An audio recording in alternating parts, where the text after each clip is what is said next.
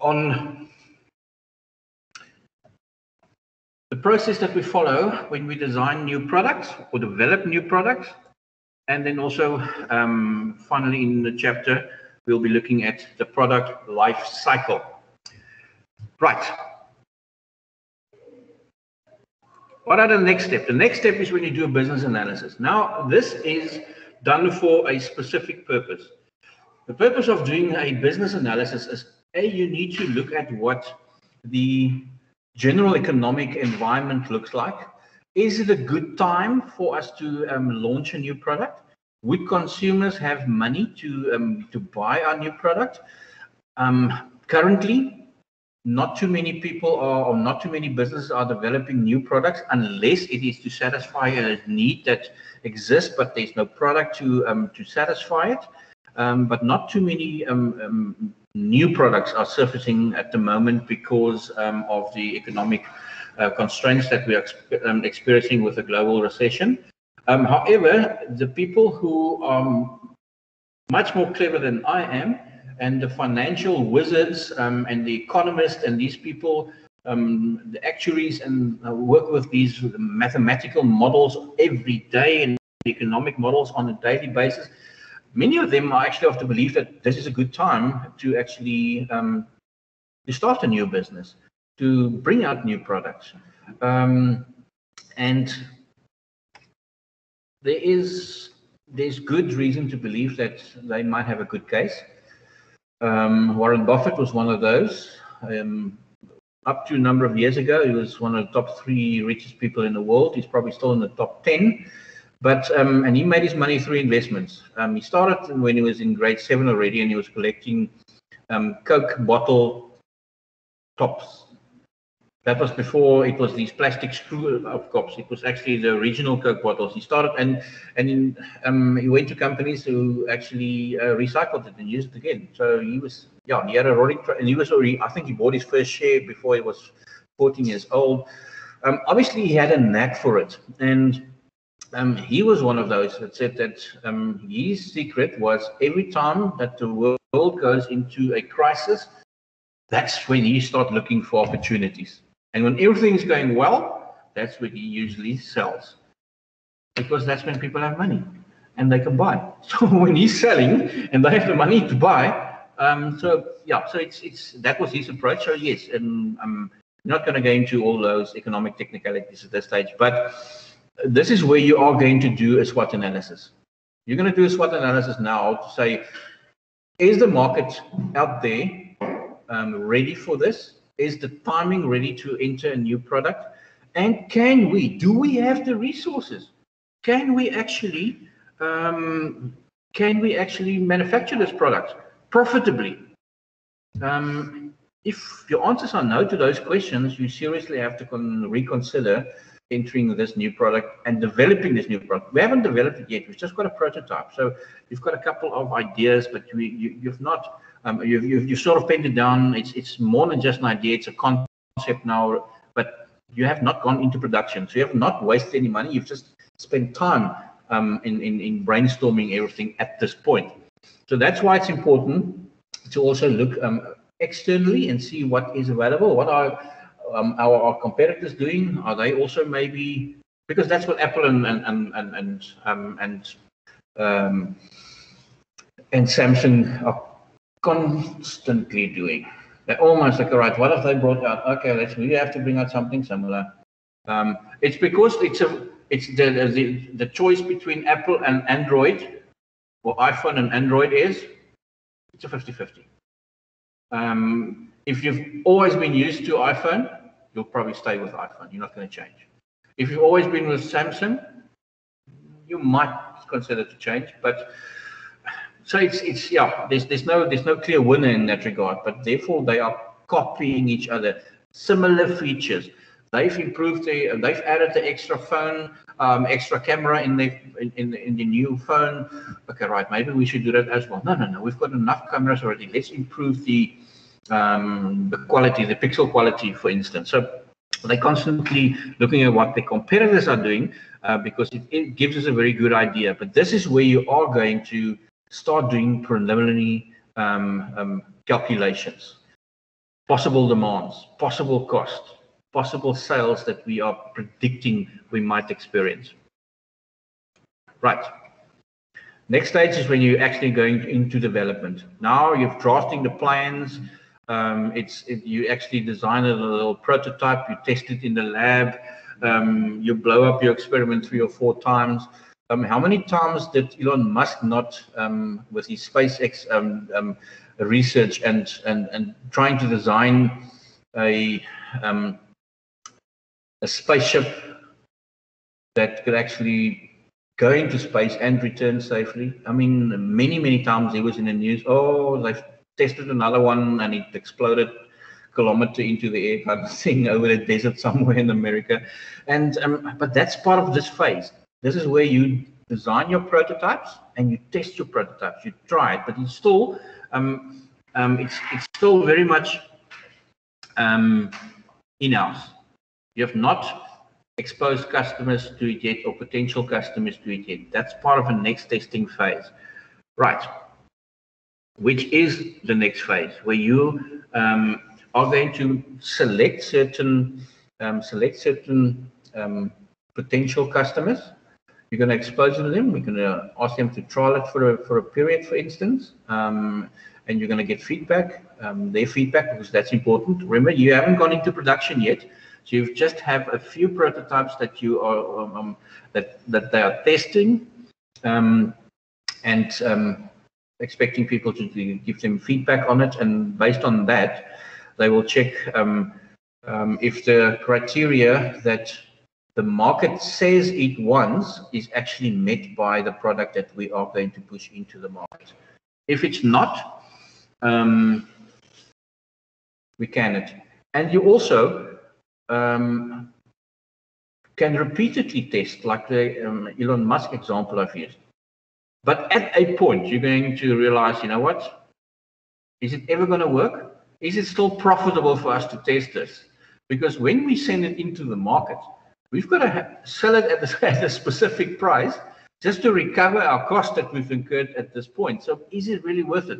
You will get to that sort of um, T junction in your in your process um, round about now. Um, when you start getting the feedback from that specific selected group of customers that you have tested it with.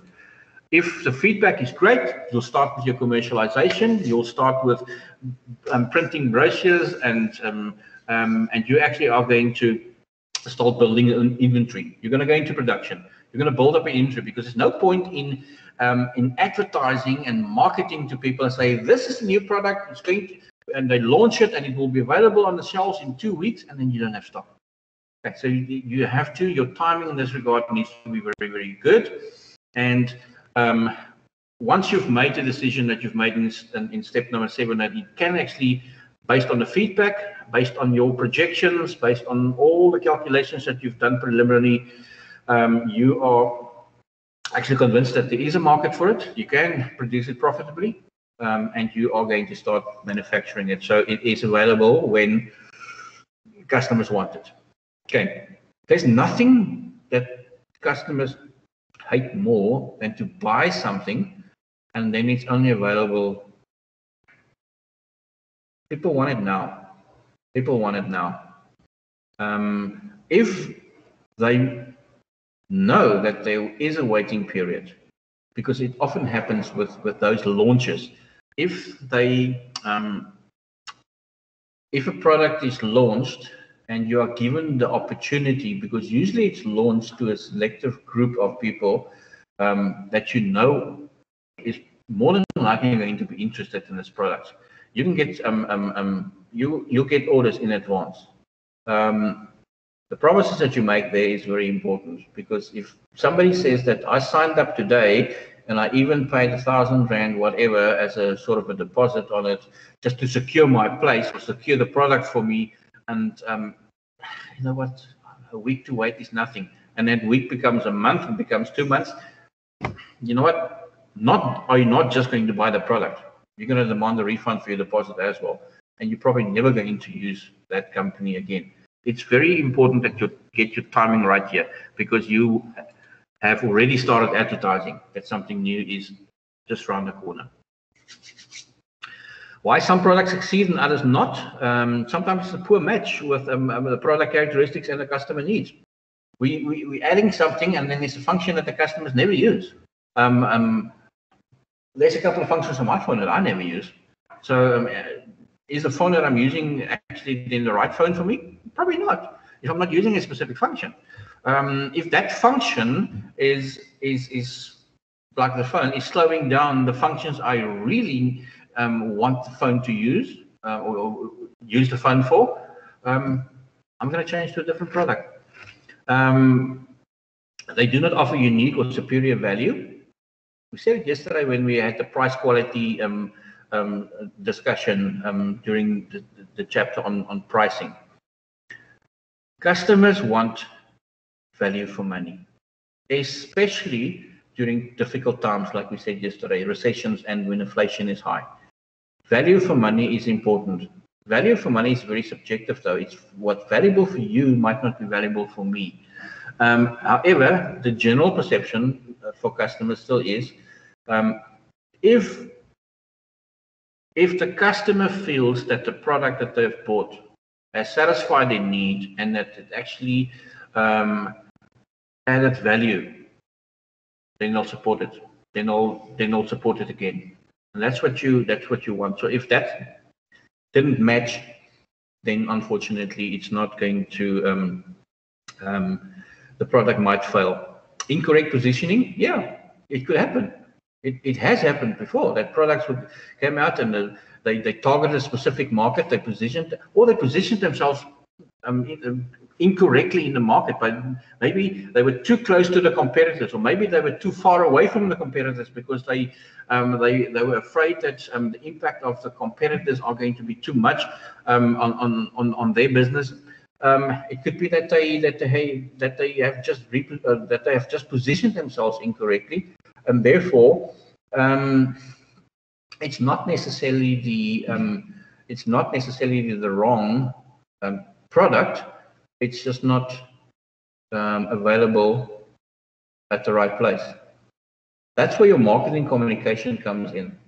As I've many times said, you can actually reach the wrong people with the right message or get the right message out to the wrong group of customers, or you can get the wrong message out to the right customers. Either one of those two is going to result in in um, in disappointment because your business is not going to um, your business is not going to survive that. And very often that because that happens, later on products research music, songs that are, are, are that are um, um, songs that that are launched, and then it, it doesn't catch on, and then they re um, launch it three four years later, and all of a sudden it becomes wow, this is a great song. So oh, sometimes you have to reposition it because maybe the timing wasn't right and maybe you didn't use the right platform for that. So that's why your marketing communications mix is so important. That combination, that cocktail of finding the right combination between your PR and your direct selling and your personal selling and your advertising, that has to that has to be very, very correct um, for you to be successful strong competition. If there's strong competition, there's nothing you can do it. You can just battle it and then, yeah, um, you can do the best you can. Um, competition will always be there, and sometimes competition is healthy because competition is actually telling you exactly where you are going wrong uh, and where you can improve. Um, but only if you pay attention to it and actually address it.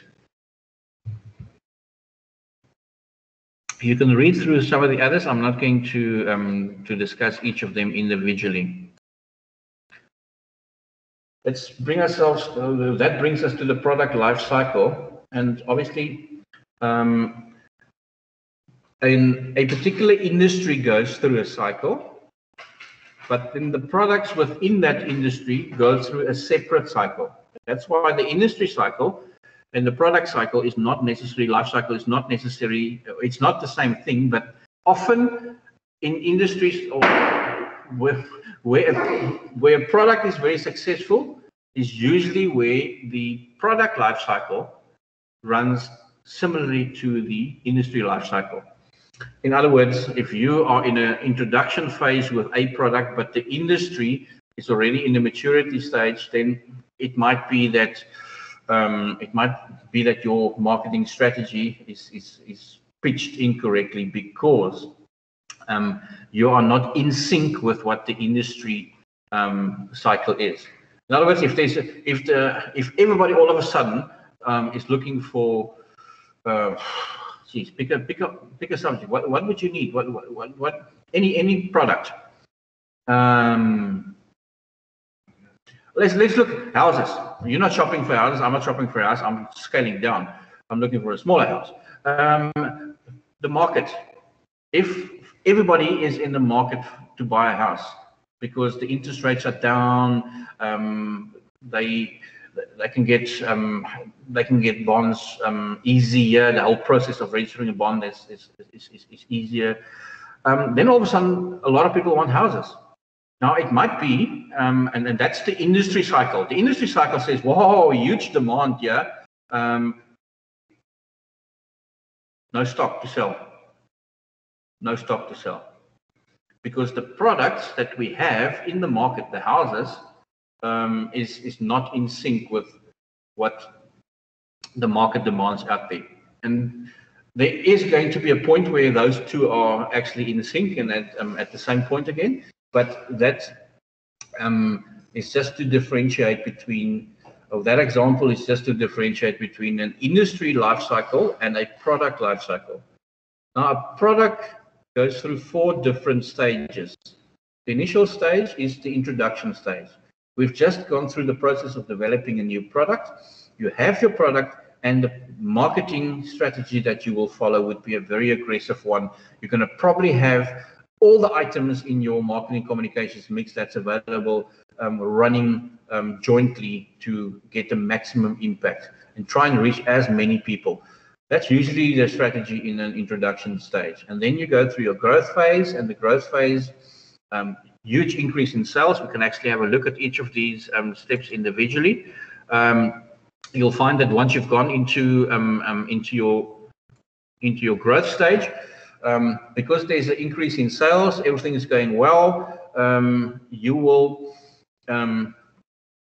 you you might even remember when you're in introduction phase. There's no other competitors.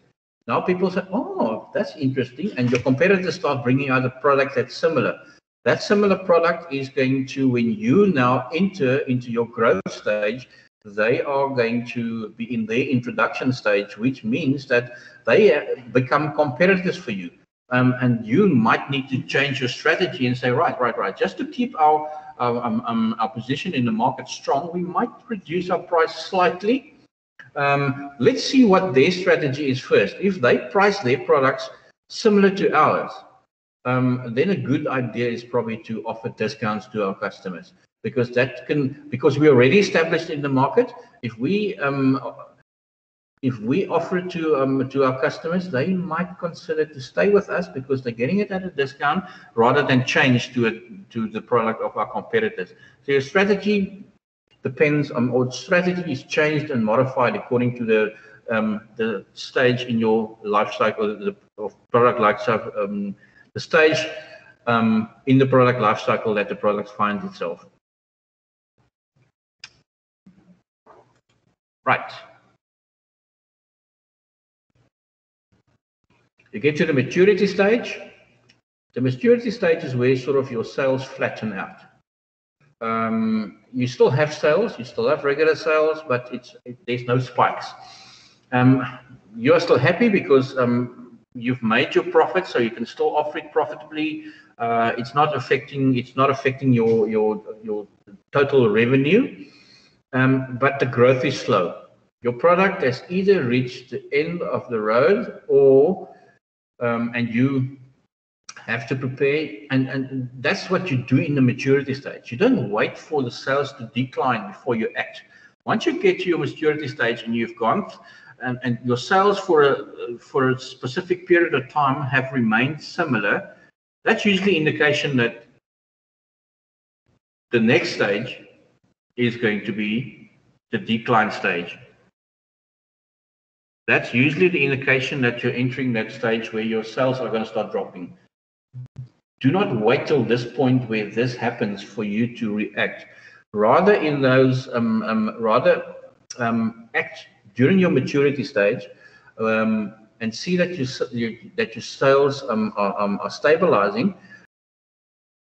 Adapt your marketing strategy to maybe offering special deals for customers especially if you know that your company is going to introduce a new product, uh, which is an improved version of um, the current one. That's the one thing that you can do when you reach that maturity stage. So now, um, and that's where that aggressive sales um, approach now comes in, where you're trying to get rid of your, you, this is the push strategy, trying to get rid of your excess stock um, because you know there's another one coming out. So it's, it, don't wait till there's a decline in the sales of the existing product before you do that.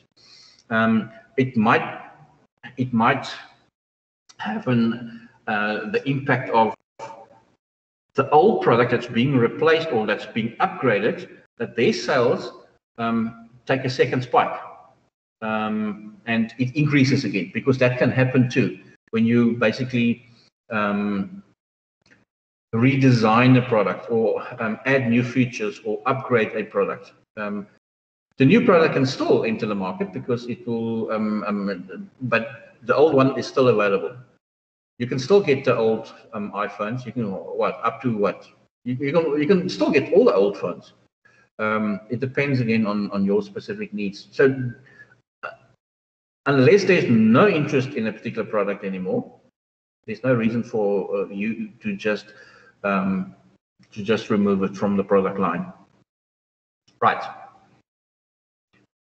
As um, we've discussed now, some of the strategies that you can follow is that you have to re-establish your position, or you can hang in there and say, listen, maybe it's just a bad time. Um, let's just ride this wave. It will improve again, or you can actually withdraw the product and say, hmm, no, nobody's interested. Or, or people are still interested, but there's not enough that um, that will that will result in any profitability for us. So you know what? Let's rather just uh, um, replace this product completely. Let's see if anybody in the chat room have any questions. Oh, Matthew, sorry, my friend. Load shedding, yeah, we cannot control that. That's sad. Um, I think I'm at uh, load shedding level. I stay in Durban now, 10 to 12. Yeah, at the moment, there should be load shedding there now. You're right. Um, anyway, the session is recorded. I'll upload it this afternoon, so um, that's the best we can do. This is, we were lucky here at campus. I was preparing for, um, I was preparing. That's why I got the extra classroom because I wasn't sure because that, that other building. Uh, remember we were in S11 that one um, previously, um, but I didn't want to run the risk because our power was going to be out here between 8 and 10. Now, this building has a generator, so then we need a classroom in this building. That's why I got this classroom just in case. Um, and then um, City of Cape Town was downgraded to stage one. So it meant that we didn't have power cuts this morning. And both, we can actually both use both. But then I wasn't going to then change and say, oh, let's go back there. Anyway, um, load shedding is a constant issue. And again, people, um, if somebody asks you, that's the main reason why we are offering your online exam in June um, for the full 24 hours on the day itself, because people are on different grids and they, but if we can, if we can keep Eskom to their promise, and their promise was that we are, can actually experience load shedding throughout the winter, um, unfortunately, um, we have to be proactive and plan for that, and that's the reason why that's the case. If, however, there is problems during your um, during your um, exam. In your that first place that gives you the instructions, um, that will there will be a number that you can contact, 086 number that you can contact. Um, if you have technical issues, not to ask me a question, but if you have technical problems with your um, with conducting your exam. Yes. Uh, so I just wanted to know the June exam is that going to be online? Hmm. All right. Hmm. That's okay. Mm -mm. I haven't got any red pens. no, no, the, the, the June exam will be online. And the end of the exam? No idea. absolute no idea. We we are currently busy and discussing. We have meetings every day to plan not just um, the second semester, but plan 2022 already as well. Um, so yeah, it's it's um, that we always have a plan A, B, and C available. Um, it just depends, um, and obviously the main the main factors that um, needs to that will be considered is um, accessibility to um, to internet, um, and then obviously um, whatever stage of um, restrictions we are in with COVID. Because I know my son yesterday, they were informed as of today, and he was quite happy because he didn't have to go to school today. Um, yeah, schools are back, for instance, or some schools are back um, on the old January um, delivery format where they go to school every second day. So again, based on what we expect um, from the third wave. It might not happen, but we need to pl plan for that. And unfortunately, no, we, we do not have formalized plans for the second semester. Um, I've got my timetable worked out till the end of um, till the end of the second semester, but um, it's it's nothing that's still in a in a fluid stage of and can can change. Um, right, um, people. I think at this stage, um, I think we we sort of say what? Yeah, no, no, there's not there's not much on the slides. We can actually just look at. There are different pe people when when new products are introduced into the market. There are consumers. There are there are consumers who time time check. Uh, time check uh, eleven.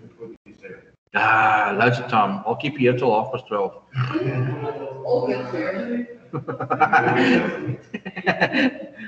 Who needs to be away at what time? I think I submit my pulse. Um, how long did it take, um, Rebecca, to upload it? For that, Yeah, yeah, yeah. an hour. Uh-oh. Uh, no, don't be. No, you're on his side now. No. Hey, I'm giving. nice try. Um, um, no, when when new products are introduced into the market, different consumers react differently, and you you can put yourself.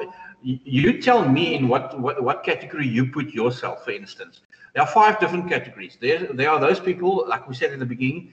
Hey man, bring out a new product. I can't wait for. They love new innovations. They they want to be the first ones to try a new product. They want to be the wow. I you? I saw. I got this new. Wow, I saw that ad on television. You have the new phone already. Um, there are people who want to be the first to use a product. Okay, um, that's just who they are. You get your um, early adopters. Your early adopters are the people who say, okay, um, let's give it a. Uh, if if if if if I speak to five of my friends and four of them have it, then you know what? That's indication to me that they that the product is okay, and then I'll buy. You get your early majority. Those are the people who wait for um, um, for, for the majority of the market to to um, to buy the product, um, because that's usually indication that the product is is is um, is of quality, is um, of value, um, and that will satisfy my need. It's new products. So I'm not talking about existing products. I'm talking about new products. Some people just don't find people in by nature human humans by nature don't take kindly to change. We hate change. We actually are comfortable with with with we, we yeah. If things don't have to change, we'll be quite happy. Um, but unfortunately, life does not work like that.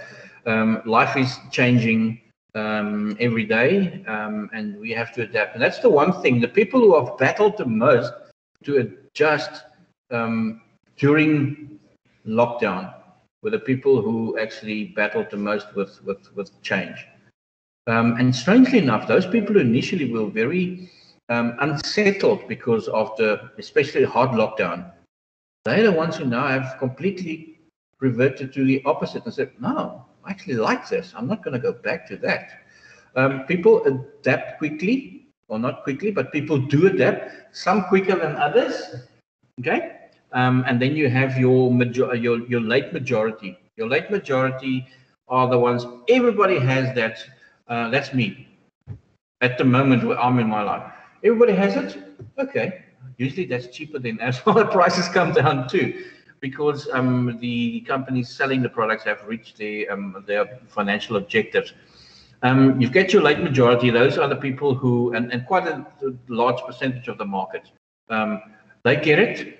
Um, if I, yeah, I'm interested in that new product, I'm not going to get it because mine is still fine, then either mine breaks um, or I have to replace it for another reason then I'm ready. Then I'll actually, then I become part of the of the um, late majority that join and then get the product. Uh, and then you have your what they call the laggards. The laggards are the ones who, you know what, we hate all these changes. I'm still with my old 3610 or 6510 Nokia or whatever, or 3210, whatever. I, my mother's like that it's not that she doesn't she, she's quite savvy tech savvy on at the age of 86 i think it's because my my sister um my sister is has been in has been living and working and teaching in in singapore for the the last 17 18 years and now they're relocating to to vietnam at the end of this month. Um and uh, to be in contact with remain in contact with your children um she was forced to um, become tech savvy so they can actually Zoom and Skype and, and, and phone and whatever. I said, showed her the other day for the first time the WhatsApp calls and she wasn't aware that actually is available. it, no, but anyway, she's one of those. She, ah, you know what? I can show her now and I can, mom, it's not going to cost you extra cent. Serious? Yes. Okay, then she tries it. Next time she has to do it, she goes back to the old ways. That's a that's a laggard they they are so used to doing it in a certain way that they actually you, you can't trouble them with with with new innovations. Yeah, whatever, nice, but and um, they're not necessarily going to. It, it's not not going to necessarily result in a purchase um, because um, their characteristic is of such a nature that they actually um, um, that they actually don't um, they don't change um, their habits and um, and behavior.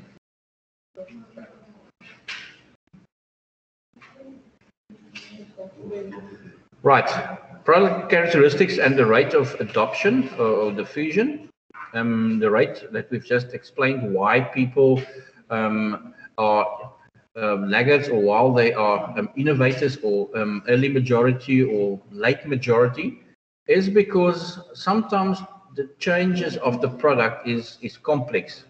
Maybe in that was me a number of years ago after being an Android user for as long as I can remember. I think I was an Android user from the first time that um, that cell phones came out, and then by default I um, I changed to iPhone about five years ago. Initially, that first that first six months, I was lost. The only thing I recognized was my ringtone. Um, but I could almost use none of the functions because I was I was completely the menu was completely new to me, and I think that's that's sometimes that complexity of the product um, is actually what what what prevents people from um, from a changing to a new product or be changed to a new product at some point. Um, that's the, that's where that um, customer reluctance comes in um, to to try new things because sometimes it's just too complex to change. Um, and and um, if you provide them with um, the last point there, if the product has a trialability, in other words, okay, fine. Like I said to my uh, personal trainer uh, students, um, or, or, personal trainers when I did some um, upskill training for them. Um, offer your customer one month free sessions. Let them experience what you can do um, and don't try and sell the business from the start. Let them experience the benefit first. If you can experience something, um, I changed from um, um, my my my, my wife ran over a, um, um, a dog, a stray dog, a um, number of years ago. There was minimal damage to the car, um, but it had to go in because that part was not in stock. So I, I got a um, um, um, I got a vehicle that I could use um, for well until mine was was was was was fixed. I enjoyed that new vehicle that they gave me as a courtesy vehicle so much that when I had to sell my car again, that was the brand because I got the opportunity to try it out. Okay, so that's what many of us would, if we were given. I know. Would, would you be? Would, would you be um, interested in in using a product if you know how it tastes and how it feels and um, if you like it or not? Of course you will. Um, that's why those demos that they have, especially for new drinks or new food. Um, excuse me. Netflix. uh, Yes. They have uh, also a trial run. Yes. That's how they got you. That's how they got all of us because they knew once we know what we wow, you stick to it. You pay your subscriptions. um, yeah, interesting. I watched um, um, the the Friends reunion again last night. Um, I know that, and it was strange to me how because my son in grade eleven is is very much he's a Friends um, fanatic. Um, um, the older one he knows about friends, but he's not going to. But he's also not one who sits down and and watches television for longer than five minutes. Then something else has to happen. Um, yeah, it was just interesting to me that a product like that. That's amazing how a product like that could actually be so successful.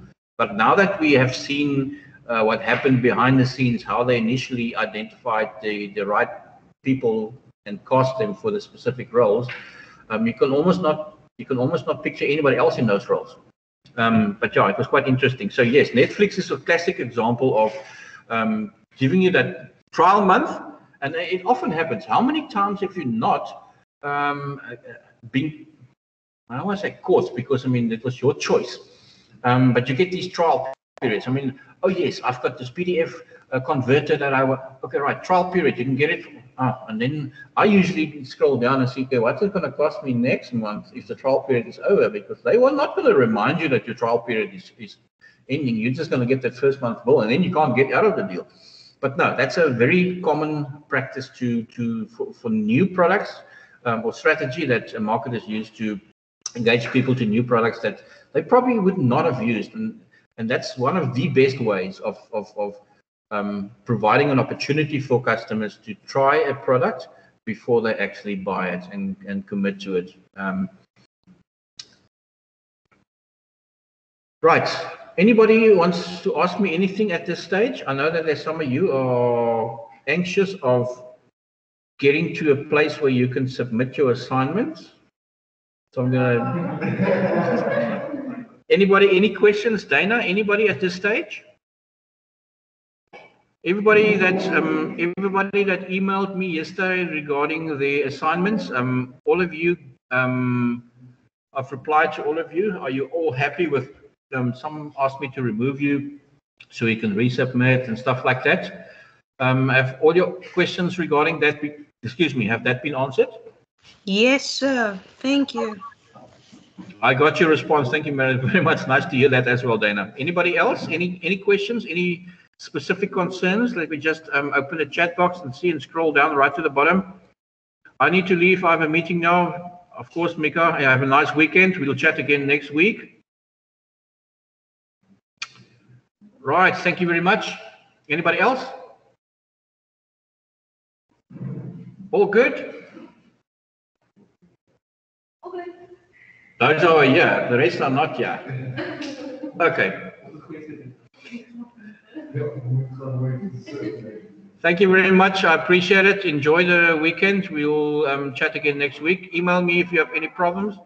I will address to um, them um, if I can or get somebody to help you if I can't.